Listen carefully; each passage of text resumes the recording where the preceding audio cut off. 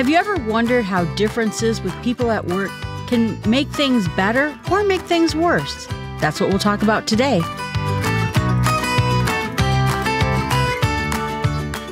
Who am I and what, if anything, can I do about it? Aldous Huxley.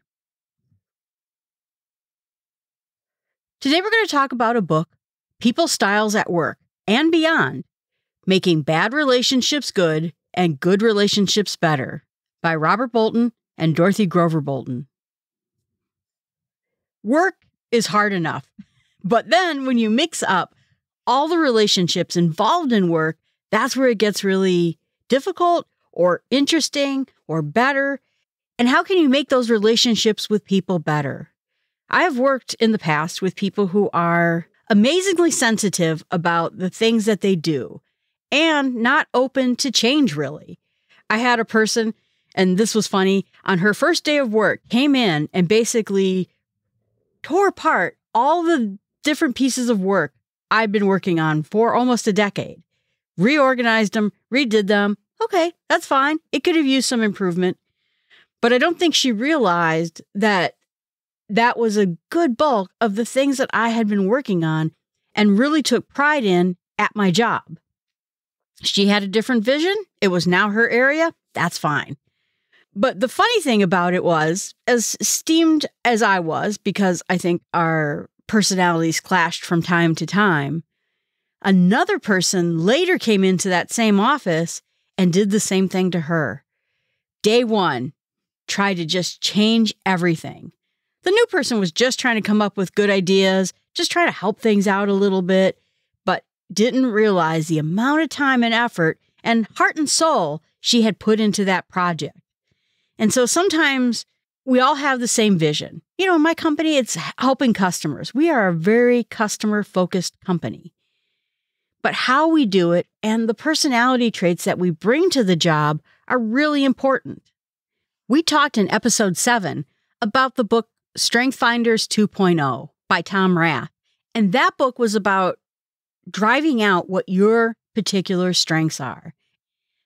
It wasn't a personality test as much as it was trying to figure out what you're really good at and trying to build on that. In this particular book, this is more about your work style or how you like to display your work, how you like to act in your work job. And I thought it was interesting because sometimes those relationships at work are the hardest thing to get right. We can have a job we like, we can do a great job at our job. But then suddenly we're finding that we're butting heads with someone who shares the same goal we do, helping customers, but just has a little bit of a different way of expressing how they do their job. The bottom line of the book is that people are different. They have different ways of manifesting their personality, different ways that they interact with people, and different responses to tasks that they have to do. Are they really just into analysis or are they about the people and communicating? And that difference can really make a difference to how we do on the job. And they said that if we don't get along at the job, we'll have a difficult time working with other people. We won't be able to get the things done that we hope to get done or convince people when we have something we believe is urgent that it is urgent and just fail at communication in general we will get on each other's nerves, kind of like what I was talking about with the relationship I had with that person who first came into my office. We got along in the end, but it took work and it took some understanding for us to come to a place where we were friends and really enjoyed each other's company by just understanding how we are different from each other. And these differences in our styles really help us to understand each other if we can categorize them a little bit better. The book warns against trying to pigeonhole people into a corner. Oh, well, that person's just difficult, or this person is just this or that. And the reason we want to categorize people according to the book is so that we can better relate to them and maybe also better predict what they're going to do in response to our work. And they call this a model in the end, we're trying to build a model for people, and models aren't perfect. Models are meant to be a simplified reduction of the real thing. So when we put people into models, we're really sort of reducing them to the core of how they work. The purpose, they believe, is that it will help us interpret and observe people better, understand exactly where they're coming from, and work with them in a better way. So in this book, they say, quote, a people style is a cluster of habitual, assertive, and responsive behaviors that have a pervasive and enduring influence on one's action. Meaning, this is long term. This is kind of how we act. It's not acting in a bad way to a bad situation, or it's not really having a one off occurrence. You know, maybe if we have this really bad situation and we flip out, and that's not what pervasive is. This means just day in and day out, we're acting in a certain way. So we have styles, that's how we act. Behavior is how we actually do things, what we do to get things done. And in the end, these behaviors will help us understand each other. They give a quote from a federal judge that says, A man's life, like a piece of tapestry, is made up of many strands, which, interwoven, makes a pattern. To single one out and look at it alone not only destroys the whole, but gives the strand itself a false value. So that means that when we're looking at these models and these people, we can't just reduce people. Oh, that person is just angry. No, they're, they're much more complicated than that. A person isn't just a thing, they're the tapestry. And so this model at least tries to give us a hint at how this person does at work. They also go on in the book later to mention how the person will do in marriage and with children and other situations. But the part we're going to talk about is the part where they're talking about work specifically. It's up to you then to think about how other areas of your life are affected by this and maybe even read the book and take some advice about how you can help those other areas when dealing with other people. They think that in the end, it is hard for us to change behaviors or styles. And it'll be, again, pervasive, meaning it'll go over many years. And what they say, quote, is you'd be wise to accept and celebrate it. And that's important. I'm a firm believer in taking the things that we're good at, taking the things that we enjoy and that we have strengths in, and building on that. Fixing a little of the things that we're weak at, but really going in and looking at how we can celebrate the gifts we've been given, the strengths we have, in order to make us better. So, the first thing that they look at, and this is going to be a cross section, is assertiveness, which is either less assertive or more assertive. And this just means how forceful or directive you may be as a person. And they give some test questions to kind of help you sort out exactly where you are. But basically, this person will use more forceful ways to get their goals. And people who are less forceful will not necessarily be less directed than the other person. They just may use different techniques than force to get their goals. So it's certainly not an assertive versus submissive. They say that some ways that you can tell what a more assertive person looks like is they gesture a lot. They have good eye contact. They move more and with more energy. They're more direct, they speak louder, they speak faster, and they also make decisions more rapidly and they're more confrontational. What's funny is if you have listened to this podcast more than a few times, you know I talk way too fast. I do talk too fast. I'm trying to work on it. The next category, which is our up and down, is responsiveness. And that's going to be how aware they are of their own emotions, they say, and how are they with emotions from other people? It's not necessarily that the person feels or doesn't feel. I have met some very stoic individuals, silent, and you wouldn't have guessed they had a single emotion in their body. But there's a phrase, still waters run deep, which means there's a lot more to the inside of a person than what most people realize a lot of people who you might think are not very emotional or not very tied to their emotion are like big, gooey chocolate chip cookies. They're crunchy on the outside, but all soft and gooey on the inside. They just don't put it out there for everyone to see. So they said a more responsive person expresses emotions freely. They're talkative and in a more emotional way. They like small talk. They like reaching out and talking to people. And they're also very worried about how their own actions or actions of the company are going to impact other people. I like some of the characteristics. It says um, prefers working with others compared to being alone, dresses more casually. Boy, that's me right there. I just love dressing casually and I love being with other people. It's my two favorite things. Also, they mentioned that they're less structured in their use of time and they're a lot more open to being with other people when they have the ability to be alone. So now that we have the less assertive, more assertive, less responsive, more responsive, they break those characteristics into four quadrants. The person who's less assertive, less responsive is analytical. The person who is less responsive but more assertive is the driver. The person who is less assertive but more responsive is amiable.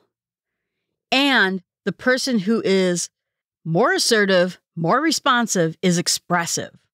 And the thing they say to remember is that there is no bad character here. They all have their pros and cons, and placed in the right job or the right task, they will thrive. What do you think you are? You probably have a pretty good idea of what you are. And you can look at this book and read a little bit more about it and decide better about what you are. But here's the other question who do other people think you are? And that's what I think is really interesting. I believe that I'm expressive. I tend to be a little bit more assertive and a little bit more responsive. If something goes wrong at a conference, I'm the person on the stage immediately trying to tell jokes, keep people interested, and make sure that everyone's doing well and is really happy. I am all over the place at conferences and in meetings trying to make people more comfortable or take whatever action it is they need to do. Over the course of years, I find that being expressive all the time can really wear people out. If you're always all over the place, if you're always very directive, if you're always, you know, looking people in the eye and being very emotional or being very open with things, people can get worn out about that. And so I have really learned to tamp that down and maybe use these in a little bit better way. And so I bet you that if you ask people around me or work people, they'd probably put me in the amiable category. But for the most part, I range somewhere in that expressive and amiable range most of the time.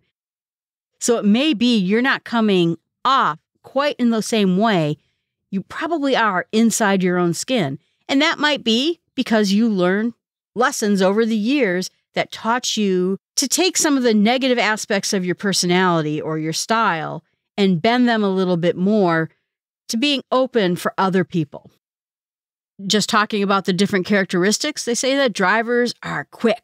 They're quick to act and do things and walk, and they are delegating and they are getting things done and making it happen at work. Sometimes the problem with them is that they may not listen to other people, or if they're driving action and there's something wrong that is preventing action, sometimes they don't stop to make sure that those actions are getting cured before they go on. They like to set goals that are realistic, but also very high. They want to get things done, and that's their most important thing. Then the expressive people, those are the responsive, but also assertive people. They tend to like bright colors and be loud and flourishing and be visionaries and take those bold moves and look at the castles in the air. Boy, that wraps up me in the 20s. I was always having these huge visions and these huge plans and all these things I was going to do without really an idea of how I was going to get them done. And again, that's me now moderating my style a bit so that I can actually get things done. I can actually not be so many castles in the air, but look at maybe a solid cabin on the ground, something I could actually accomplish that is worth doing, that is realistic and be a little bit less in that expressive style. Just because I've learned over the years I could do better. Says that they can get bored quickly. Boy, that's me right there. And they can be impulsive at times. A quote from their book says, from someone who is in this category. First, I dive into a pool and then I look to see if there's water in it. Boy, you want to talk about what I was in my 20s? That's it right there. The amiable people are very people oriented, they're very easygoing, they like working with people, and they have good relationships with people. They're really the person who brings teams together. A lot of times they're getting a lot of the tasks done because they're trying to help out, they're trying to be a team player. And so the book says that they're the unsung heroes of a lot of team tasks that have to get done. And the problem is, it says that if the amiable people, if they don't stop and take time and actually stand up for something, say something is important, they will lose credibility with the people around them. And as someone who's tried to sort of migrate towards the more amiable person, I can tell you that's true. And the last category are the analyticals. They are the perfectionists. They want to analyze everything, they want to get everything right. They don't want to work on hunches. They don't want to work on the best guess. They want the data correct. And they will make people do things over again if they feel that their standards aren't being met. And that can be great for a project. It can make a project fantastic, but it also can strangle a project so no one can get anything done. And sometimes it may mean that they may not come out with a decision.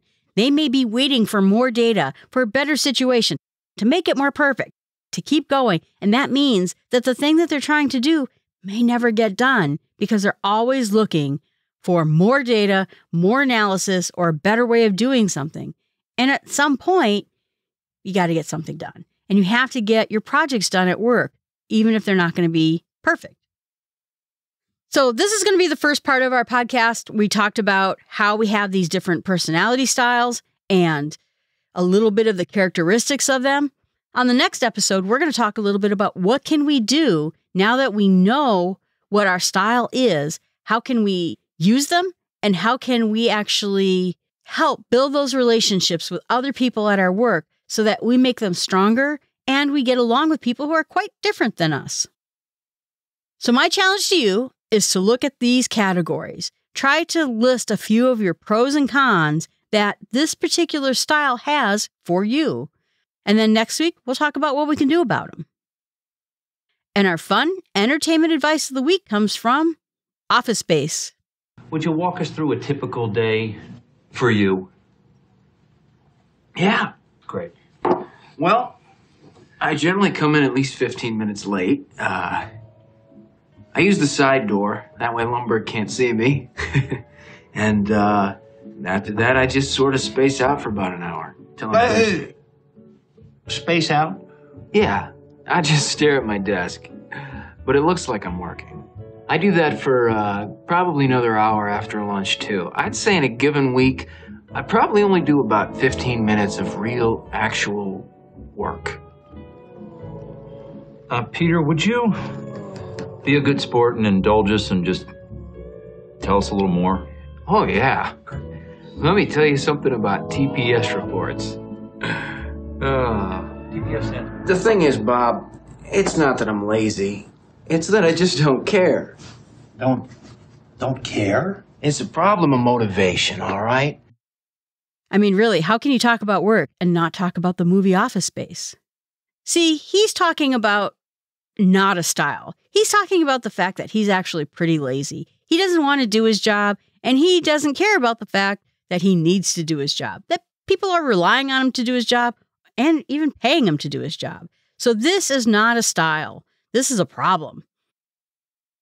All right, everyone, thanks so much. I hope you have a great week. And if you remember to tell a friend that they can have better relationships with the people around them by taking small steps.